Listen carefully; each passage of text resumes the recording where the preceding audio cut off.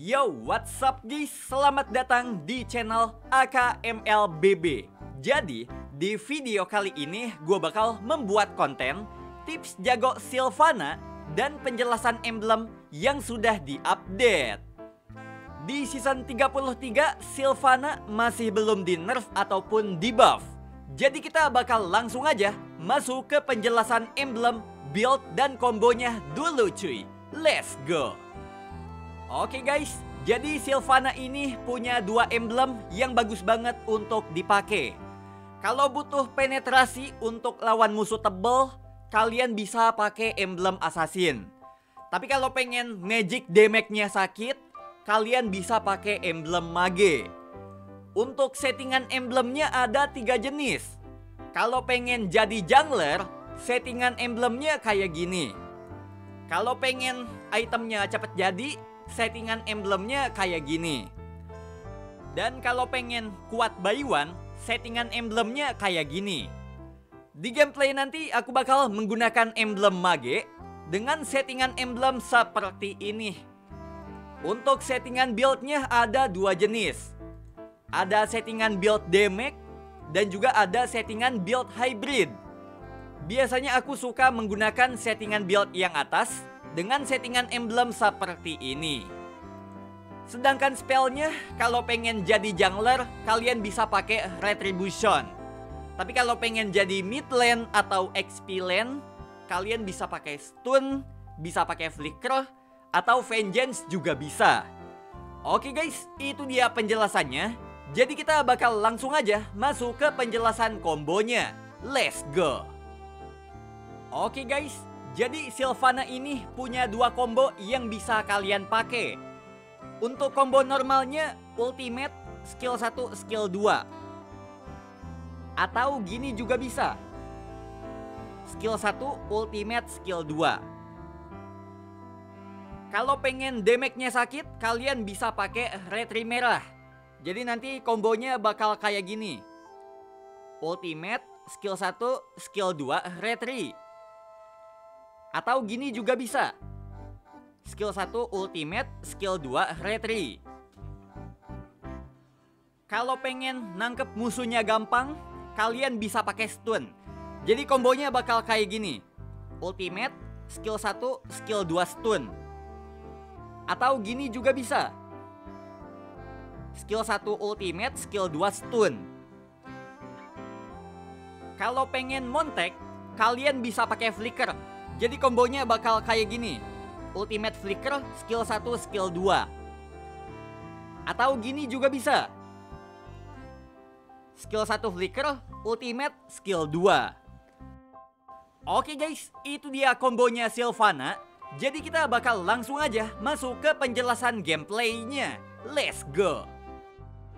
Oke guys, jadi kalau pakai Sylvana, di level 1 aku bakal ningkatin skill 2 nya dulu supaya farmingnya cepat. Untuk rotasinya seperti biasa, kita bakal rotasi ke God Land. Di sini kan God Land-nya ada di atas. Jadi aku bakal ambil buff orange dulu. Abis ambil buff orange, sebenarnya kalian bisa ambil jungle hijau, abis itu bisa ke atas. Cuman aku bakal langsung ke atas, guys. Di sini kan Lita Wondernya muncul di kanan. Kalau Alpanya ngambil Lita Wonder, harusnya kita bisa ambil jungle yang atas. Cuman di sini kita masih belum tahu alpanya ada di mana nih. Sambil lihat situasi, Atlasnya ada di atas, Julian ada di mid lane, alpanya ada di sini. Oke, dapat ya? Lumayan, dapat satu. Kalau gak punya retribution, mending ambil jungle yang aman aja cuy. Santai. Kayaknya kita gak bisa bantuin God lane ya. Ini kita wajib amanin jungle bawah guys. Tadi aku lihat Alpanya ke bawah sih. Sylvana tuh bisa menang lawan Alpa kalau Alpanya ulti duluan. Pokoknya Sylvana bisa menang kalau skill 2-nya gak di cancel. Pede aja sih. Lagian di awal game damage-nya Alpha gak ngeburst juga kan. Alpha ke bawah udah ulti balikin. Ultimate skill 1 skill 2. Menang guys. Jungle atas aman, jungle bawah juga aman. Alpha mati, Yuzong juga mati. Mantap banget kawan. Awas, Juliannya hilang ya. Lawan Julian tuh jangan masuk semak sembarangan. Lah, belum juga lewat udah combo-combo aja itu bang. Bagaimana itu Pak Asep? Pas banget turtle muncul di bawah. Buff ungu musuh juga udah muncul sih. Tapi tadi tuh alpanya masih level 4. Semoga aja alpanya ngambil buff ungu dulu. Dan semoga aja dia gak bakal sempet guys. Hmm, aduh teman-temannya malah pada datang kayak gini guys. Waduh alpanya udah beres ngambil buff ungu. Tunggu musuhnya gak ada stun baru bisa kita komboin. Skill 2 retri. Itu dia damage-nya Sylvana kalau dikomboin sama retri merah guys. Oh iya, buff ungunya udah diambil sama apa ya? Gimana sih Pak Asep? Lupa aku guys. Oke. Okay. Abis dapetin turtle, balik lagi aja farming. Tadi kita udah cuan banget udah mah dapet turtle, dapet 4 kill. Wih, ini sih udah snowball ya. Dan kalau kita bahas pasifnya Sylvana, jadi ketika Sylvana ngasih damage ke musuh, Sylvana bakal ngurangin physical dan magic defense musuh. Pasifnya juga bisa di stack sebanyak 5 stack. Yang artinya semakin banyak Sylvana ngasih damage, maka defense musuhnya bakal makin lembek. Contoh, di depan musuh gak ada skill. Coba kita majuin. Ultimate, skill 1, skill 2.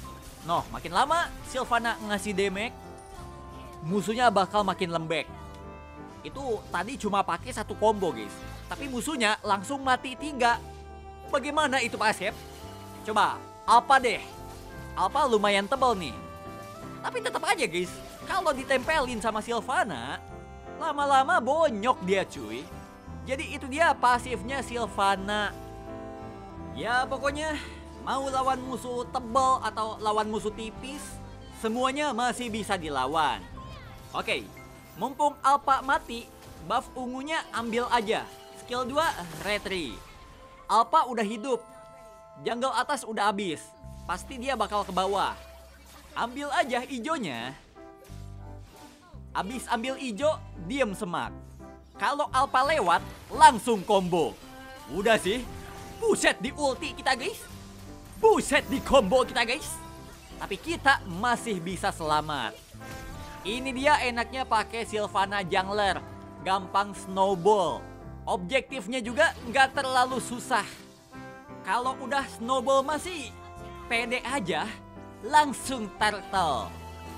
Alpanya mana nih? Kan gak lucu kalau tiba-tiba loncat kan? Di buff ungu gak ada, kayaknya di buff orange sih. Retrinya simpan aja cuy. Coba kita cek. Wih! Wayo! Dapat buffnya guys. Miskin dia cuy. Coba kita cek lagi. Waduh sama Julian dia guys. Gak bisa, rame. Mending main aman. Dan kalau kita bahas potensinya Sylvana, jadi Sylvana ini hero-nya fleksibel. Bisa jadi jungler, bisa jadi XP, bisa jadi mid lane, bisa juga jadi roamer. Selain fleksibel, Sylvana juga hero-nya serbaguna. Jelas, pasifnya Sylvana bisa nurunin defense musuh. Kalau musuh udah kena pasifnya Sylvana, pasti tim kalian eksekusinya bakal makin gampang. Ultimate Sylvana juga bisa dipakai untuk nangkep musuh. Jadi untuk lawan hero lincah atau lawan hero tebel, kayaknya Sylvana bakal tetap bagus. Di mode ulti juga Sylvana bakal dapat lifesteal dan juga attack speed. Jadi kalian itu bisa manfaatin ultimate-nya untuk team fight, untuk culik musuh, atau untuk ngepush juga bisa. Sedangkan di team fight, tugas Sylvana itu nyulik musuh. Target kalian adalah culik hero tipis. Tapi kalau tim kalian kompak, culik hero tebal juga gak masalah. Bebas sih, mau buy one juga boleh. Tapi kalau udah snowball kayak gini sih, mau satu lawan tiga, satu lawan empat, gas aja cuy. By the way, jangan lupa banyakin main semak supaya nyulik musuhnya makin gampang. Ada Alpha, Ultimate, skill 1, skill 2. Alpanya masih level 7 guys. Buffnya kita colong mulu cuy. Bagaimana itu Pak Asip? Dalam segi level aja udah beda 5 level guys. Kacau balau emang ya.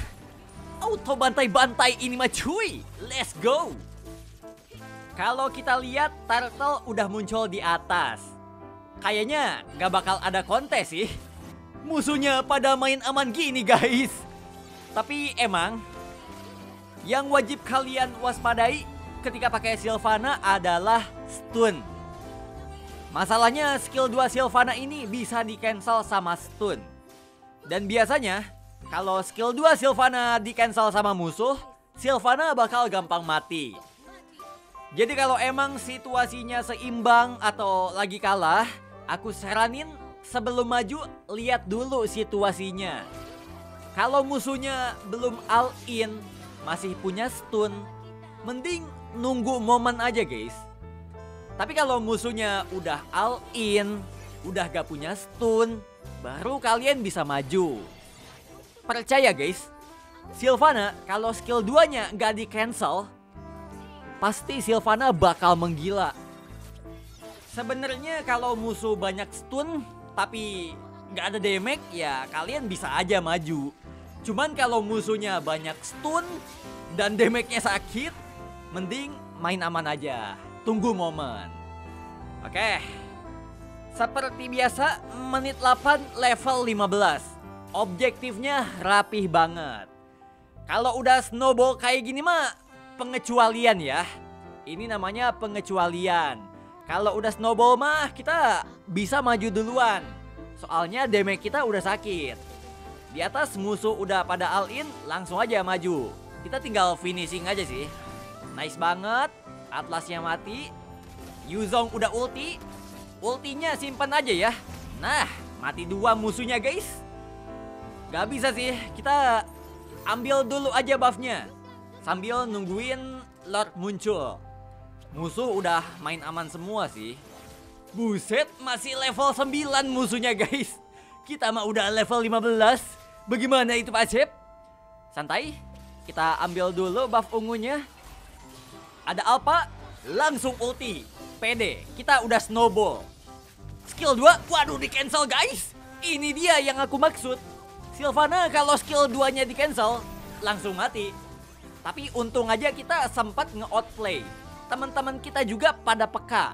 Untung ya, satu tuker tiga, empat malah, walaupun shutdown sih. Dan kalau kita bahas counternya Sylvana, jadi Sylvana ini bisa dikontrol sama Digi. Masalahnya ultimate Sylvana bisa dilepas sama ultimate-nya Digi. Atau kalian juga bisa pakai hero yang stunnya banyak. Contohnya kayak Akai, Martis, Ruby, Edit. Supaya kalian bisa nge-cancel skill 2-nya Sylvana. Jadi itu dia beberapa counternya Sylvana. Oke, di bawah ada team fight. Kita cicil dulu atlasnya. Dia kabur ultimate. Nice banget. Musuhnya mati dua guys. Ini mah tinggal nunggu lord aja sih.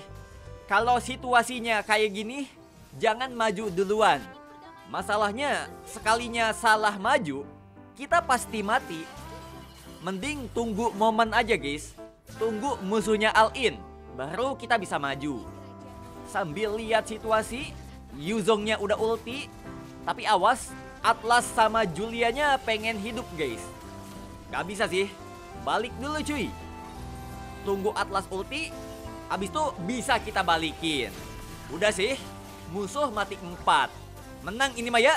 Tinggal dipus aja cuy. Cakep banget. Oke guys. Itu dia tips jago Silvana di season 33 ini. Kalau kalian suka dengan video ini, jangan lupa di like, comment, dan di subscribe. By the way, thank you banget buat kalian yang udah komen di video sebelumnya. Jadi untuk saat ini, kita bakal langsung aja masuk ke pengabsenan. Let's go! Selamat untuk Ton Starboy karena kamu sudah jadi yang pertama.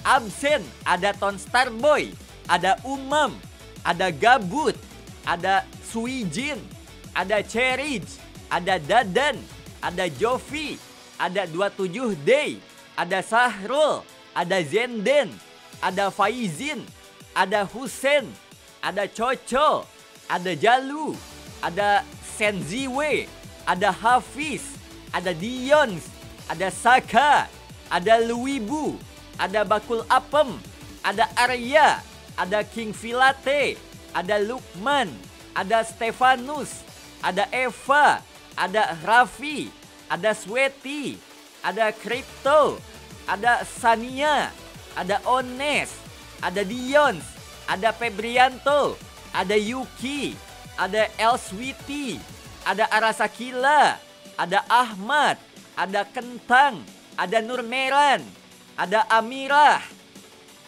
ada Miew, ada Immanuel, ada Mansur, ada Fendi, ada Ciaki, ada Nana, ada Ope, ada Febrina, ada Olin, ada Krista Adam, ada Rizky, ada Ahmad, ada Smartul, ada Dedi, ada Fahrilga, ada Safi Muda, ada Purple, ada Dika, ada Muntun, ada Popeye Bugis, ada Keniro, ada Alfi, ada Nafjaya, ada Alfi, ada Mata, ada Sultan, ada Hasan, ada Nabil, ada Popeye Bugis, ada Anime, ada Kizaru, ada Jimmy, ada Alif, ada Acid, ada Fikri Andi, ada Kronsel, ada Uncla Bejo, ada Nias, ada Komang,